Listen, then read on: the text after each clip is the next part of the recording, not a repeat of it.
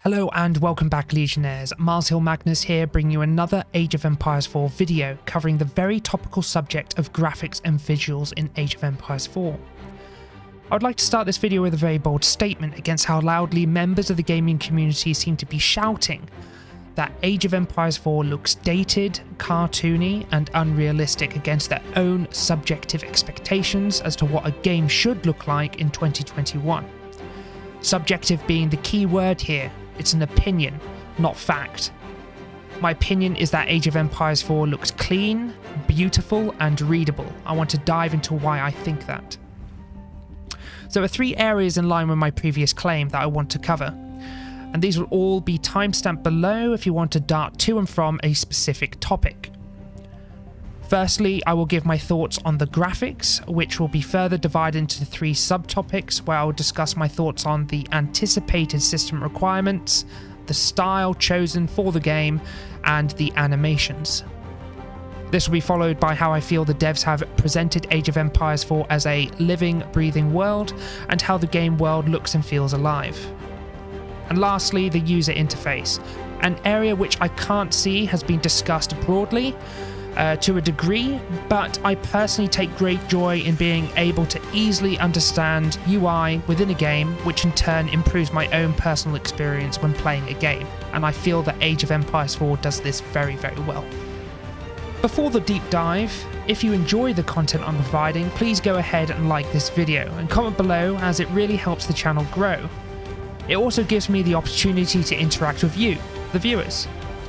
If you want to see more content from me, please subscribe and press that bell icon for instant notifications as to when my content goes live. Without further delay, let's dive right into it. Starting with the topic of graphics, I want to firstly talk about the system requirements. They're currently unknown, but I wouldn't anticipate this to be anything outrageous, both on the recommended and minimum requirements front. I would imagine Relic and Microsoft would tailor their minimum requirements to be in line with other popular games and recent release titles, to ensure accessibility to all players to get the most bang for their buck. If we look at A Year of Rain, Iron Harvest, and Stronghold Warlords, all which released either in 2020 or 2021, their minimum requirements seem to be fairly in line with one another. An i5 processor or equivalent with the processing speed in the range of 3 to 3.5 GHz, a graphics card with 2 to 4 GB of VRAM, and at least 8 GB of memory. The same can be said to the same extent for the recommended system requirements, where an i7 processor or equi equivalent with 3.4 to 4 GHz of processing power, a graphics card with at least 4 GB of VRAM, and the range of 12 to 16 GB for memory. If you purchased a brand new gaming PC in the last 5 to 6 years, you should be fine and adhere to the minimum requirements. As a wildcard, I have also included the minimum system requirements for League of Legends, as that is arguably one of the most popular strategy games out there with a huge player base.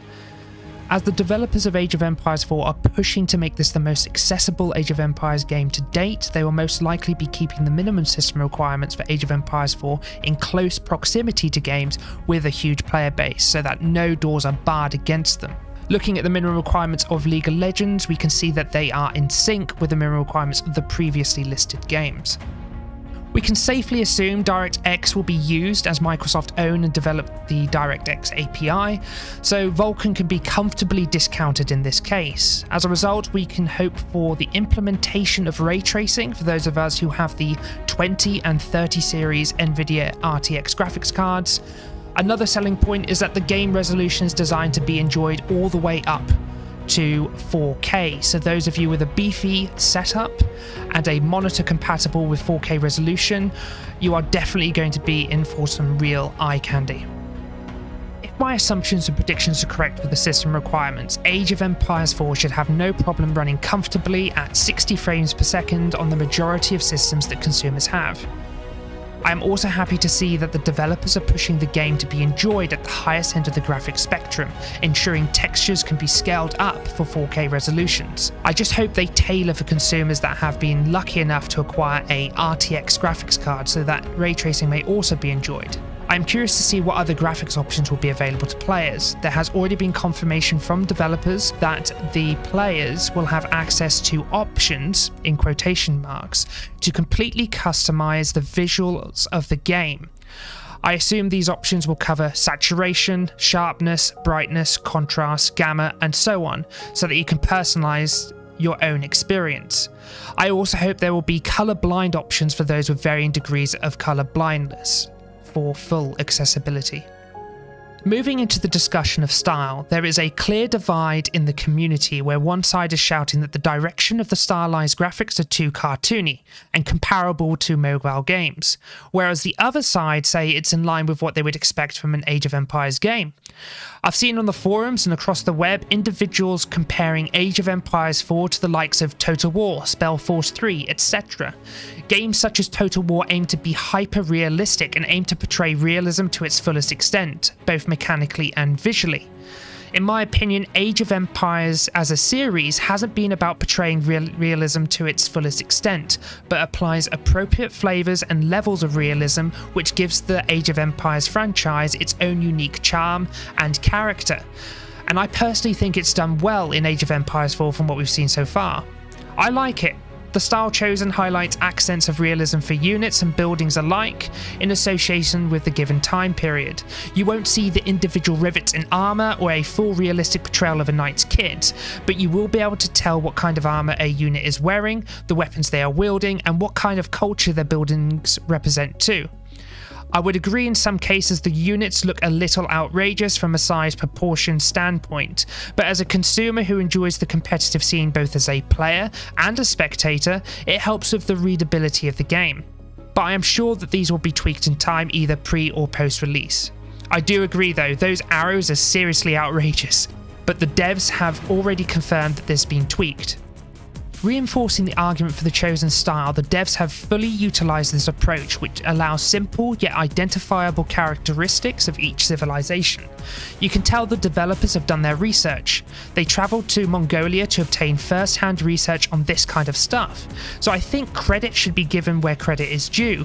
The Mongolians in particular seem extremely unique in their appearance, appearance compared to other civilizations revealed so far. Their culture is well portrayed through their buildings and the outfits of the units. The same goes for the English, Chinese, and Delhi Sultanate, which all also look uniquely different in their appearance.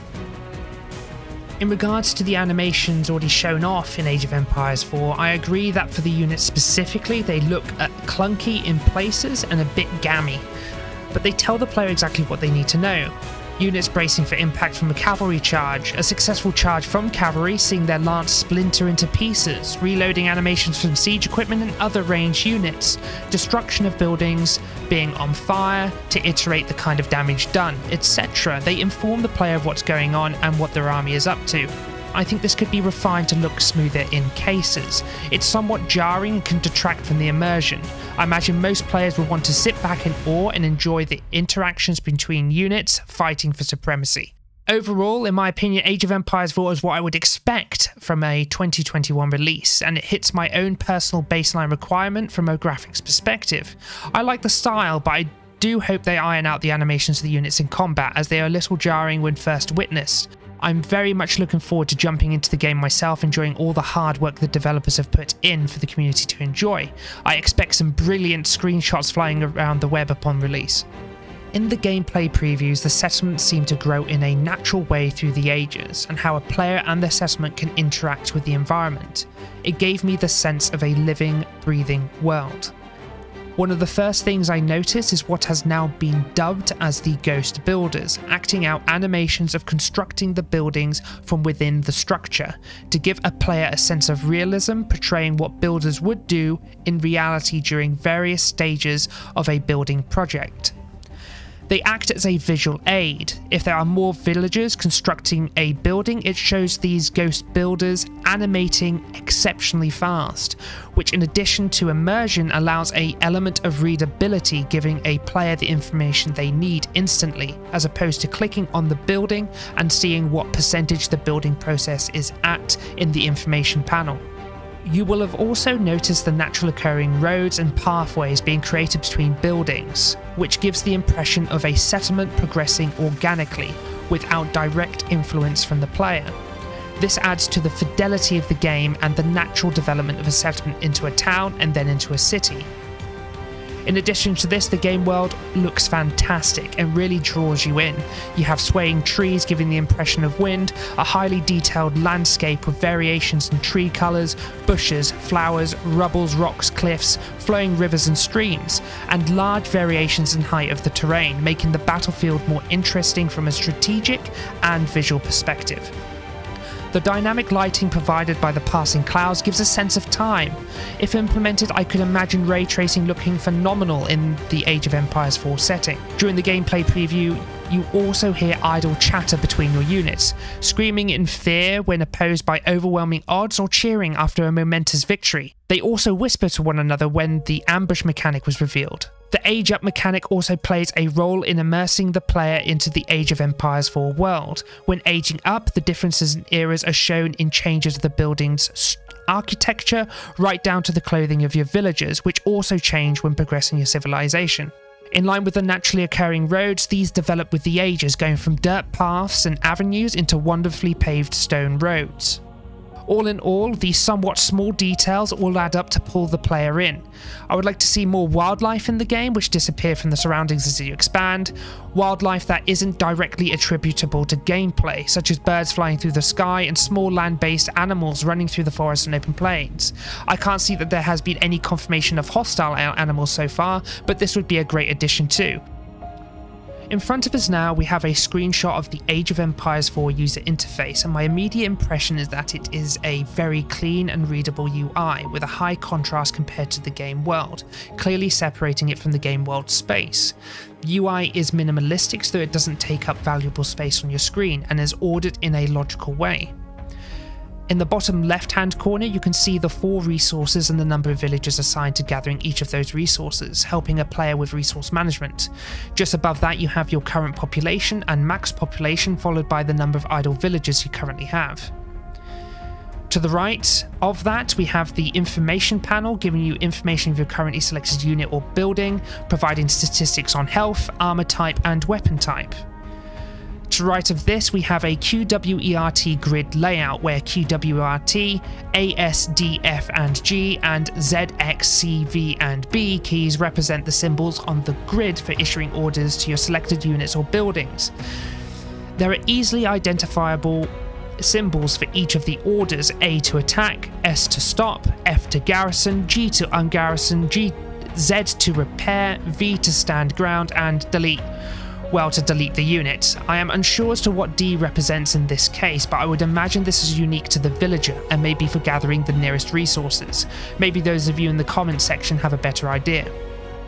Moving on, you have the same QWERT grid layout for selecting buildings you want to construct, but one unique difference compared to previous Age of Empires games is that it doesn't follow the civilian military building segregation. Instead, buildings are split into their respective ages. If you wanted to build a house, you would press QQ, for a barracks, QS, as they are available in the Dark Age, and for a blacksmith you would press hotkeys W and then Q, as this is only available in the Feudal Age. I found this to be very intuitive, and I also imagine it will be easy to pick up for RTS veterans and new players alike. Note that the building icons have colour coding applied as well. Anything with a bronze warm colour applied is a production building for military units, and the green buildings are for researching technology and upgrades. Another great implementation of the UI to inform the player as to what buildings do what and giving them varying importance. By following the QWERT grid layout, it allows a player to keep their hands to their respective area of their keyboard, reducing the need to keep moving your hands back and forth. The power is within your fingertips, quite literally. I would also imagine that there will be presets for hotkey bindings for both left and right handed players, further improving the accessibility of the game. In the bottom right hand corner you have the minimap which I hope there are options to increase the size and changing how the colours are represented to give more contrast and visibility as to what's happening on the map. Over to the left again, we have the groups assigned to hotkeys 1, 2, 3, 4, and 6, with a number in the top left hand corner of the group icons signifying the number of units in that group.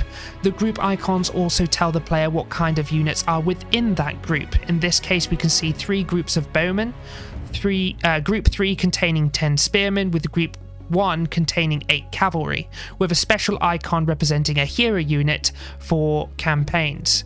In the top left hand corner we have the campaign objectives and at the top middle of the screenshot we have an indicator as to what age your civilization is in. In this case the feudal age, age 2. Ultimately, I found it easy to understand how hotkeys interface with the UI, and the devs have done a great job at keeping all the information to as few areas of the screen as possible, with heavy emphasis to the bottom left hand corner, meaning you don't have to dart your attention to all corners of the screen. I also want to comment on how the building grid looks simple too, and you can easily see how buildings line up against the world, helping you plan your base effectively and efficiently. To conclude, I feel the UI definitely helps with being able to tell what's going on in Age of Empires 4, and is possibly the most important facet of the game in enabling a player to easily interact with their base, units, and environment. I also feel the colour chosen for the UI makes it feel more modern and up to date with the times, yet grounds it as something familiar and recognisable as being from the Age of Empires franchise, establishing an almost timeless formula which sits well in Age of Empires 4. That brings us to the end of this video. I hope all the points I've raised get across and reinforces my statement that Age of Empires 4 is a clean, beautiful and readable game. I would love to see what you, the viewers, think and if you disagree or agree with my points. If you've enjoyed the video, please go ahead and drop a like or dislike if you haven't and post your thoughts in the comments below. I would really appreciate it as it helps the channel grow and helps me improve my videos in the future. Be sure to subscribe today and press the bell icon to receive instant notifications as to when more content from me goes live. Until next time, this is MarZhill Magnus signing out for now. Ciao.